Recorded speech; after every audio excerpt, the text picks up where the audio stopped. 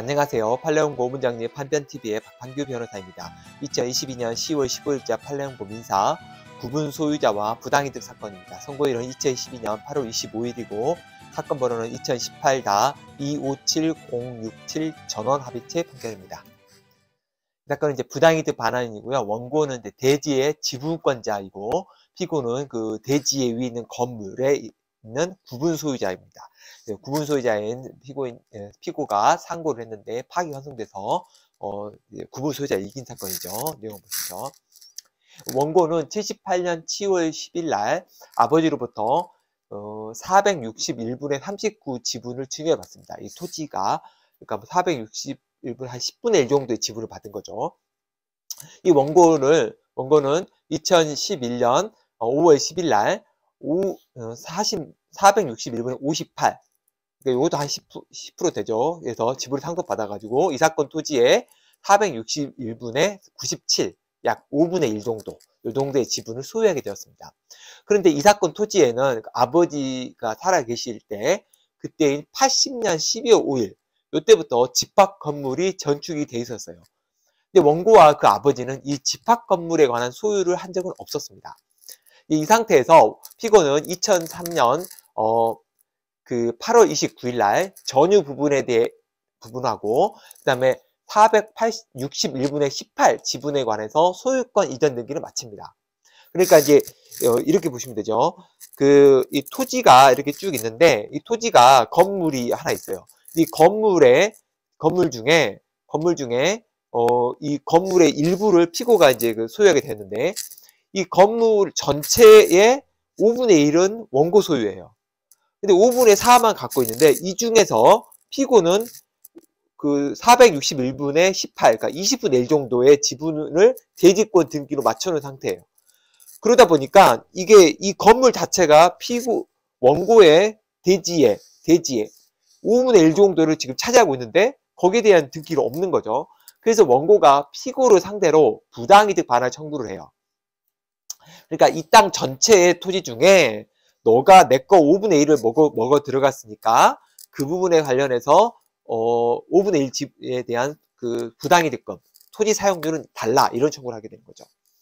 이 결국은 구분 소유자가 아니면서 원고 같은 경우죠. 구분, 원고와 그 아버지는 이 건물에 대한 소유권 없었으니까 대지 공유 지분을 가지고 있는 사람이 전유 부분 면적 비율에 상하는 공유 지분을 가진 구분 소유자를 상대로 사용 수익에 따른 부당이득 반환을 청구할 수 있는가? 이게 이제 문제가 되는 거예요. 자, 다시 말씀드려요. 구분 소유자가 아닌 사람이야 돼요. 구분 소유자 아닌 사람이 대지의 지분을 갖고 있는 경우에 전유 부분 그 면적 비율에 비율에 상응하는 공유 지분을 가진 구분 소유자. 이게 핵심입니다. 전유 부분에 따른 그러니까 이래서 지금 20분의 1의 그 전유를 갖고 있죠. 그러니까 건물이 이 땅 전체를 차지하고 있는데 이 중에 20칸, 20칸으로 나눠져 있는 건물 중에 이 사람이 하나의 건물을 갖고 있어요. 그리고 거기에 대해서 20분의 1의 등기를 가지고 있어요. 그렇다면 이 사람은 20분의 1의 지분을 가지고 건물 전체를 사용하고 있는 거랑 똑같거든요. 그렇기 때문에 원고가 5분의 1 상당은 내 땅이니까 내 나라로 한 거죠. 이럴 경우에 과연 사용 수익에 따른 부당기 반환을 할 수 있느냐? 여기서 문제가 됐고 그게 전원 합의치까지 간 겁니다. 대본은 뭐라고 하냐면 공유자는 건물의 전물을 지분의 비율대로만 사용할 수 있다.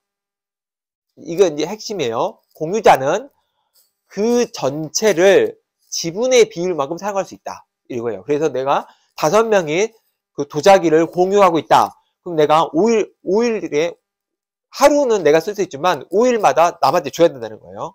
그래야 사용 수익을 다 똑같이 지분의 비율로 할 수 있다는 말이 그 말이에요. 5분의 1씩은 내가 전체를 사용할 수 있지만 전체를 사용할 수 있지만 5분의 1만 사용할 수 있기 때문에 나머지는 나머지 사람 줘라. 5분의 1.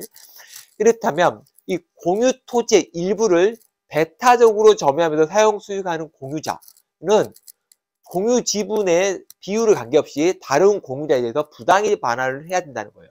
그러니까 무슨 말이냐면 이 땅에 맞춰요. 이, 이, 이 문제에서 이 20분의 1을 가지고 있는 전유 부분의 그 소유자가 있는데 이 사람이 20분의 1의 지분을 갖고 있죠.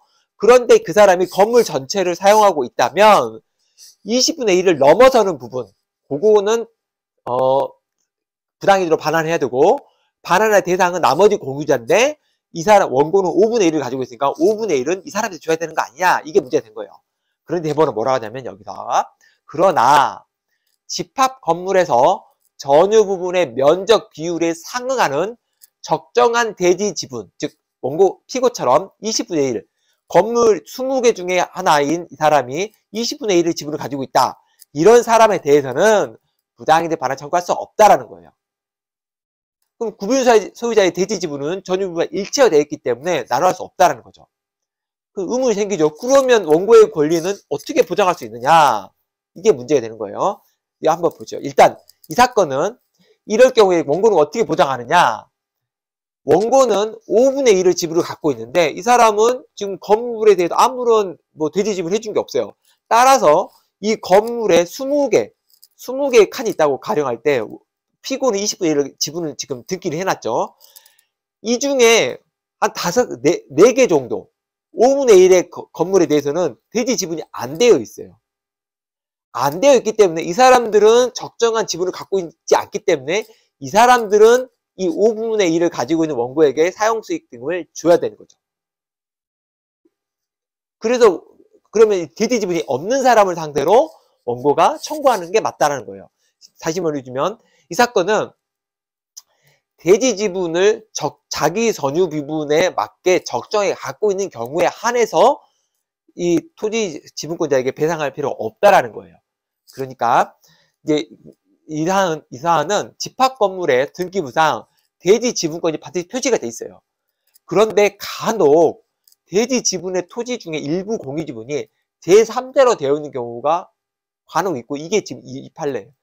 따라서 만약 이렇게 대지 지분의 대상이 된 여러 토지 중 일부 토지가 제3자 소유인 경우에 과연 그대로 적용할 수 있는지 아직 명확하진 않아요.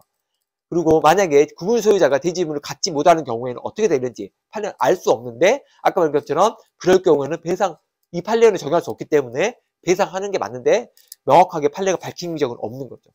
결국 이 판례는 원고는 어, 행사하려면 대지 지분이 없는 구분 소유자를 상대로 자기의 권리를 찾을 수 있을 것이고 자기의 대지 지분이 있는 사람에 대해서는 청구할 수 없다. 이게 이제 핵심의 내용이에요. 이거는 구분 소유 건물과 그다음에 공유자에 관한 논리를 갖고 있고 여기 좀 특이한 점이 있기 때문에 전원합의체 판결도 나온 거니까 한번 기억해 주시기 좋을 것 같습니다. 이상 마치겠습니다. 감사합니다.